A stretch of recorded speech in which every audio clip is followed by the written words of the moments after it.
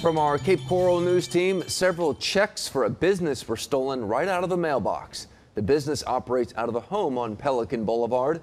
NBC2's Ben Henry spoke with police and the business owner, who says they want to press charges. The business owner tells me several checks from their customers were taken from their mailbox.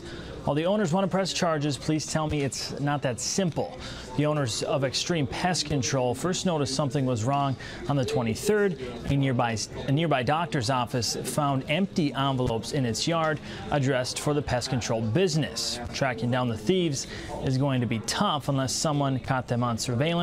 I spoke with Cape Coral police who say right now is a hot time for crimes like this try to keep your, your information safe, not only in the mail, but online as well. It is tax season. We're coming up on March. So thieves are going to be looking for ways to file fraudulent returns and whatnot. So just keep an eye out on those things.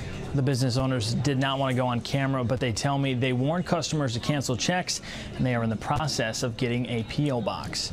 Reporting live in the newsroom, Ben Henry, NBC2.